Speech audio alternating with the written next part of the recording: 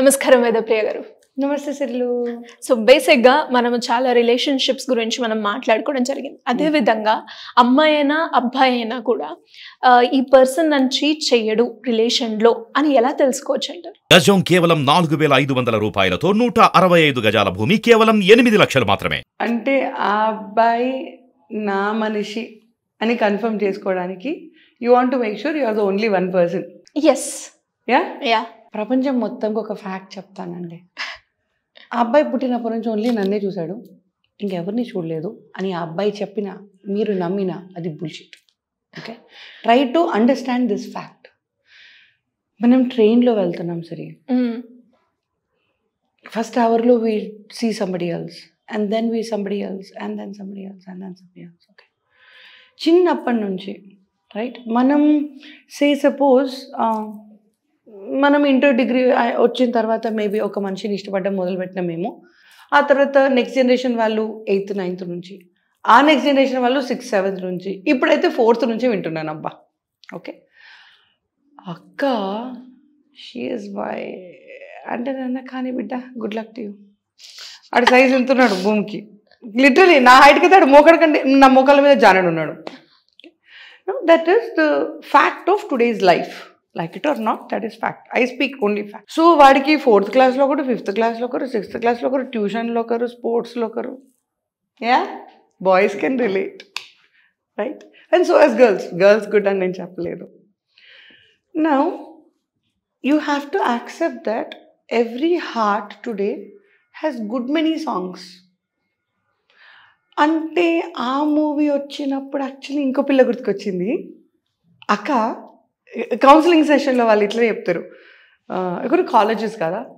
అంటే కాదు మ్యామ్ ఎట్లా చెప్పాలి?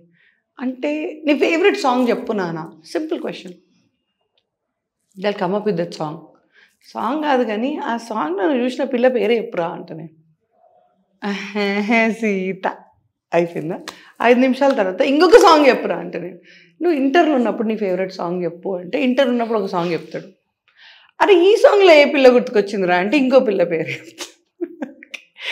You have to understand that every heart has gone through somebody or the other at that moment ప్రతి ఒక్కరూ రక్తికే అని కాదు అలాని భక్తికి కూడా కాదు బాబోయ్. ఈ రెండిటి మధ్యలో it could be for healing it could be for bond it could be for support it could be for anything ప్రతి ఒక్క దానికి ఆ మూడు అక్షరాల చుట్టూ అని నేను అనను. Every bond is different right కొందరికి మనం అక్క అని మాట్లాడతాం కొందరిని చెల్లె అంటాం కొందరిని ఫ్రెండ్స్ అంటాం. కొందరు you are nothing to me but everything to me అంటాం. Right so you don't have any lust for them కానీ వాళ్ళంటే ఇష్టం తెలుగులో అభిమానం అని ఒక వర్డ్ వాడతారు అబ్బా. అభిమానం. అంటే ఏంటంటే నాకు నువ్వు కావాలి. కానీ నువ్వు దూరంగా కావాలి. దాన్ని అభిమానం అంటారు. ఓకే? నాకు నువ్వు ఇష్టం అంటే కొంచెం దగ్గర తీసుకున్నప్పుడు ఇష్టం అన్న వర్డ్ అంటారు. నువ్వు నాకే పిల్ల అని అన్నప్పుడు నువ్వునంటే నాకు పిచ్చి పాప అంటారు. సో దెర్ ఇస్ ఈ బాండ్కి తగ్గట్టుగా we use couple of words okay? ఆ పిల్ల నువ్వు ఏం చేసినా నీకు ముద్దు పెట్టదు అన్న కన్ఫర్మేషన్ ఉంటే మీరంటే నాకు చాలా రెస్పెక్ట్ అండి అంటారు. ఓకే? ఇవి అన్నిటికీ ఒక్కటే రీజన్ లవ్వే. కానీ లస్ట్ పరంగా ఆ పిల్ల నీకు డోసేజ్ ఎంత ఇస్తుంది నమ్మకం ప్రకారం నువ్వు ఒక వర్డ్ పెట్టి ఆ రేంజ్లో ఆ పిల్లని పెడతావు. ఇది స్టోరీ అబ్బా. It could be from girl or a boy. Okay? నా coming to your question. Of course ఒక గర్ల్ అయినా బాయ్ అయినా నాతోనే ఉండాలి అన్న ఆశ అందరికీ ఉంటుంది. పాజిటివ్నెస్ అన్నది లేకుండా ఏ ప్రాణం లేదు ఇవాళ. ఎందుకు అంటే మంగళోనికి శ్రీదేవిని చూపించిన హెయిర్ స్టైలే చూసినాడంట. ఈ లైన్ నేను వంద సార్లు వాడతానబ్బా. Right so if I'm a flirtatious person first thing I will think is your also a flirtatious person పత్తలాడేటోనికి పత్తలాడేటోడు దోస్త్. Right? The same way if i am a flirtatious person i'll be scared all my life that you are a flirtatious person. You have couple of people for yourself. Or ఇంకొక extreme nature అసలు ఈ ఆలోచన ఎందుకు వస్తుందో చెప్తున్నా as a psychologist నేను ఒక introvert నేను ఎవరితో మాట్లాడాను? ఉన్నానా లేనా ఎవరికి తెలియదు. ఆ సోఫా ఆ టీవీ నేను రూమ్లో ఒకటే ఎలాగుంటారు అలా ఉన్న వాళ్ళకి.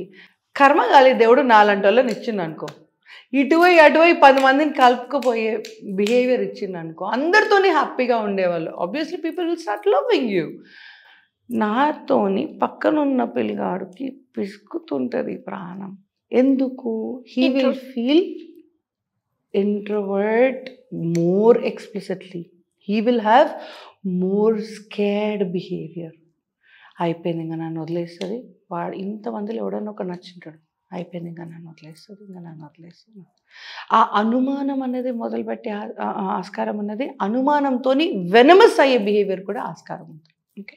నా these are the reasons as why is that we're so it is so important for us that they love only me okay?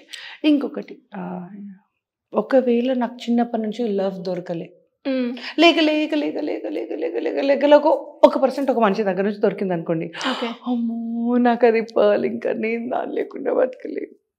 ఈ బిహేవియర్ మనలో స్టార్ట్ అవుతుంది ఆ అబ్బాయి వెళ్ళిపోతే ఎట్లా అన్న భయంతో వాళ్ళని ఇంకింత ఇంకింత ఇంకింత కప్పు పెడతాం. ఆ బిహేవియర్ కొద్దీ ఆ అబ్బాయి సఫకేట్ అయిపోయి ఆ అబ్బాయి పారిపోవాలనుకుంటాడు. That is the side impacts this is the third layer of your question coming back to the straight answer ఆ అబ్బాయి ఎవరిని చెయ్యట్లేదు? ఆ అమ్మాయి ఇంకెవరిని చెయ్యట్లేదు? అన్న కాన్ఫర్మేషన్ నాకు ఎట్లా కావాలి?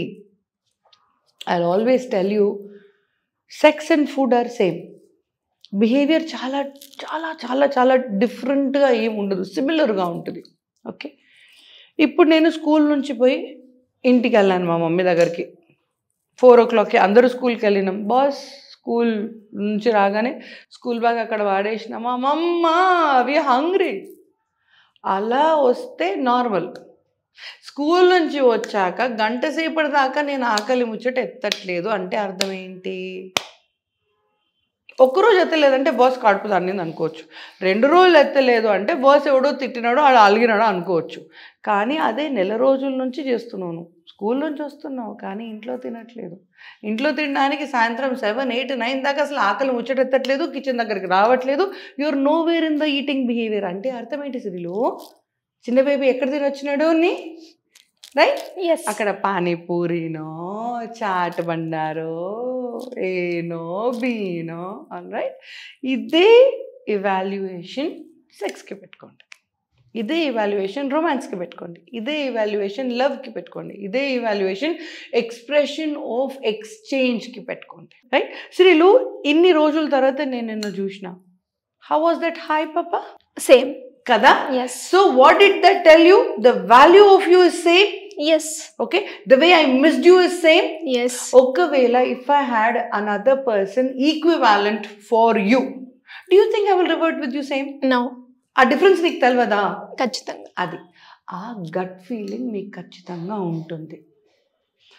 అన్నం తినేవాళ్ళు ఎలా తింటున్నారు అన్నది ఒక్కసారి ఆలోచిస్తే ఆ రేషియోలో మార్పు మీకు తెలుస్తుంది. ఓకే నెంబర్ టూ అన్నం తినే వాళ్ళ రేషియో డోసేజ్ మారుతుంది. అయితే అమ్మో మా మమ్మీ గుర్తుపడుతుందేమో అని అతి తెలివితోని రాగానే మమ్మీ ఆకలితుంది అని అని ఇంత కాకుండా ఇంత తిరగడు ఒకటే బొజ్జ. ఫ్యాక్ట్ ఈజ్ ఫ్యాక్ట్ ఓకే ఒకటే బొజ్జ. కానీ ఇమోషనల్గా మేనేజ్ చేయగలుగుతుండు. మమ్మ ఆకలితుంది మమ్మ ఆకలితుందా ఇంత పడుతుంది? వాళ్ళ అమ్మ అమ్మో నా కొడుకు ఆకలిస్తుంది అన్నాడు. ఇంత పడుతుంది. ఆడు ఇంత తింటాడు. ఆ అమ్మ ఫుల్ అయిపోయింది. సరే ఒకరోజు ఫైన్ రెండు రోజులు. నెల మొత్తం వాడు అదే వేసింది అనుకో. మమ్మీ ఏం కన్ఫర్మేషన్కి వస్తుంది నాన్న? ఖచ్చితంగా ఇంకొక దగ్గర తిన్నారు అని. ఇది అంతే. సో వాళ్ళ డోసేజ్ అవసరం కంటే ఎక్కువ మూడు ముద్దులు పెట్టే మగాడు ముప్పై ముద్దులు ఆటోమేటిక్గా ఉన్నట్టుండి పెడుతున్నాడు అంటే నువ్వు ఎక్కడ గుర్తుపడతావు అన్న భయానికి పడుతుండే పాప. నీ మీద ముద్దు వచ్చి కాదు. Clear this is another point how to know అవసరం కంటే డోసేజ్ ఎక్కువైనా అవసరం కంటే డోసేజ్ తక్కువైనా దేర్ ఇస్ సంథింగ్ రాంగ్ ఇంకొక లాస్ట్ బిహేవియర్ అబ్స్కాండింగ్ ఆ టాపిక్ మాట్లాడారు వాళ్ళు. ఆ టాపిక్ వస్తుందేమో అని ఎందుకైనా మంచిది ముందే వాళ్ళే గొడవ పెట్టుకుంటారు. వాళ్ళే గొడవ పెట్టుకొని వాళ్ళే రెండు పెగ్గలు దాగి వాళ్ళే నిద్రపోతారు. మనకు అర్థం కాదు ఇంతకు నేనేమన్నా ఇంతకు నేనేమన్నా ఇంతకు నేనేమన్నా పక్కనోడు ఆలోచిస్తుంటాడు. పిల్లకి నేనేమంటే కోపం వచ్చింది? ఏమైంటుంది? ఏమైంటుంది? ఏమైంది ఏం కాలే నాయన. వాళ్ళకే ఎక్స్ట్రా యూనో బిహేవియర్ ఎక్కువ అయ్యి నువ్వు అది ఎక్కడ దొరకబడతావో అని వాళ్ళే వచ్చి వాళ్ళే గొడవలు పెట్టుకొని వాళ్ళే చల్లగా చేసేసి వాళ్ళే పడుకుంటారు. నువ్వు ఆ కన్ఫ్యూజన్లో ఉంటూనే వాళ్ళు ఇంకో పది మందిని కొట్టుకొని వస్తారు. Simple. Okay these are the three factors you have to understand ఎందుకు రీజన్ అనేది ఎక్స్ప్లెయిన్ చేశాను? ఒకవేళ అలా ఉంటే ఏం చేయాలనేది ఎక్స్ప్లెయిన్ చేశాను. దీంతో పాటు one more thing I have to tell you that your acceptance level should be high okay ఆ అబ్బాయి నలుగురితో పోతాడా అంటే పోతాడు. నీకు నచ్చినా పోతాడు నీకు నచ్చకపోయినా పోతాడు నీకు ఇష్టం ఉన్నా పోతాడు నీకు ఇష్టం లేకపోయినా పోతాడు. ఇది ఫ్యాక్ట్ ఓకే? పోయిన వాడిని నేనెందుకు ప్రేమించాలి అంటే పోయినవాడు లేనివాడు అనేటోడైతే లేడు మరి ప్రేమించకు ఆపే ఇంట్లో కూర్చోవద్దు అంటలేడు. Okay? I'm not saying that is good but I'm saying that that is something which is part and parcel of today's life ఎందుకు అంటే నేను నీకు ఇచ్చేది ఒక్క నిమిషమే. ఆ ఒక్క నిమిషంకే నీ జీవితం మొత్తం రాసేయాలి అంటే కుదరదు. ఆ అబ్బాయి దగ్గరే నేను జీవితం మొత్తం ఉండాలి అనుకుంటే stand up and talk about your future stand up and talk about your fears stand up and talk about your phobias stand up and talk about your deep desires నాకు ఇక్కడ ముద్దు పెట్టడం is is is hundred percent my desire అప్పుడు నచ్చినోడికి చెప్పు. నాకు ఇక్కడ ముద్దు పెట్టమని. ఈ ఒక్కటి నువ్వు చెప్పే ధైర్యం చేయకపోతే రేపు పొద్దున్న కర్మగాలు ఎవడన్నా ఇక్కడ పెట్టిండా నువ్వు వాడి దగ్గరికి వెళ్ళిపోయినట్టే లెక్క. So your deepest desires feelings fears నువ్వు ఎవరితో ఉండాలనుకుంటున్నావు వాళ్ళకి చెప్పు. వాళ్ళతోని టిక్ పెట్టించుకునే రెస్పాన్సిబిలిటీ నీది. Yeah so I guess I answered all kind of folders in one question ఖచ్చితంగా. వీడియో చూసిన వాళ్ళకి కూడా క్లారిటీ అనేది వస్తూ ఉంటుంది. సో ఇలా ఎవరైనా కూడా రిలేషన్షిప్లో కావచ్చు ఫ్యామిలీ పరంగా ఇష్యూస్ కావచ్చు ఇలా ఏ దానికి సంబంధించిన డిప్రెషన్ యాంగ్జైటీ ఇలా ఏదైనా కూడా మాకు మీ గైడెన్స్ కావాలి అనుకునే వాళ్ళు ఏ రకంగా అప్రోచ్ అయ్యే ఛాన్స్ ఉందంటారు సిల్లు ఇప్పుడు ఇన్ని రోజుల నుంచి we're trying to you know know each other and the way one's behaviour is that impacts the way we're counselling okay నా దగ్గర ఒక లెస్బియన్ క్లయింట్ ఉన్నారు. ఓకే ఒక సెక్షువల్ డిస్ఫంక్షన్ క్లయింట్ ఉన్నారు. ఒక ఎయిడ్స్తో ఉన్నారు. ఒక క్యాన్సర్ ఉన్నారు. ఒక యాంగ్జైటీ ఉన్నారు. ఒక సూసైడల్ ఉన్నారు. And so and so forth okay మీ కష్టం ఏది అని చూసి నాకు అది నచ్చితే నేను కేస్ టేకప్ చేసే వాళ్ళు కొందరు. ఓకే మీకు ఏదేమన్నా కానీ అబ్బా నేనున్నాను అని నిలబడే టైప్ నేను. Okay no I do have my co counsellors who can take LGBT clients నా వల్ల కాదబ్బా నేను ఐ కాన్ డైజెస్ట్ దిస్ అంటారు. అది వాళ్ళు పెన్ పెరిగిన ఎన్విరాన్మెంట్ బట్టి వాళ్ళ యాక్సెప్టెన్స్ లెవెల్ బట్టి. సో మీ ప్రాబ్లం ఏంటి? అది నాకు పెద్ద ఇంపార్టెంట్ కాదు. మీ ప్రాబ్లం అనేది ఉంది అనేది నాకు ఇంపార్టెంట్ అంతే. ప్రాబ్లం ఉంది అంటే ఫోన్ తీసి డయల్ చేసేసేయండి ఆలోచించే అవసరం లేదు. ఏం చేద్దాం ఎట్లా చేద్దాం ఎంత టైం పడుతుంది ఎవరు ప్రాబ్లం క్రియేట్ చేస్తున్నారు ఇవన్నీ కూర్చొని మాట్లాడుకుంటేనే తెలుస్తాయి. ఓకే? మీరు ఫోన్లో మాట్లాడగలిగితే ఫోన్లో సెషన్స్ తీసుకోండి. లేదు పర్సనల్గా రావాలి మిమ్మల్ని చూస్తేనే నాకు ధైర్యంగా ఉంటుంది మేడం. నా బిడ్డని నేను మీ దగ్గరికి తీసుకొచ్చి నేను పర్సనల్గా మాట్లాడితే కానీ నాకు శాంతి లేదు. అన్న పేరెంట్స్ చాలామంది ఉన్నారు సరే ఓకే? అలా బిహేవియరల్ డీవియన్స్ ఉన్న వాళ్ళు వాళ్ళ పేరెంట్స్ సొంతంగా వచ్చి నన్ను చూసుకుంటే తప్ప వాళ్ళకి అతృప్తి ఉండదు. సో మీరు ఎలాంటి పేరెంట్ అయినా కూడా మేడం విషయం అంత కిందకి మాట్లాడలేదు కంట్రోల్లోనే ఉంది. కానీ ఎందుకైనా మంచిది అని మాట్లాడాలి అనుకునే వాళ్ళేమో ఫోన్లలో మాట్లాడండి. లేదు నేను ఇంకా నిండా మునిగాను నాకు ఇంకా దిక్కు తోచట్లేదు అని మీకు మీరుగా నిహత్త అంటారు ఆ సాంస్క్రిట్లో అలాంటి పొజిషన్లో మీరు ఉంటే ఫోన్ తీసి డయల్ చేసి చక్కగా వచ్చేసేయండి. Come to the very spot ఇక్కడే కూర్చొని మాట్లాడదాం. ఏం చెయ్యాలి అన్న సొల్యూషన్ వచ్చిన తర్వాతే నేను మీకు బాయ్ చెప్తాను. ఇది వేద ప్రియారెడ్డి ప్రామిస్. థ్యాంక్ యూ అండి. Thank you so much thank you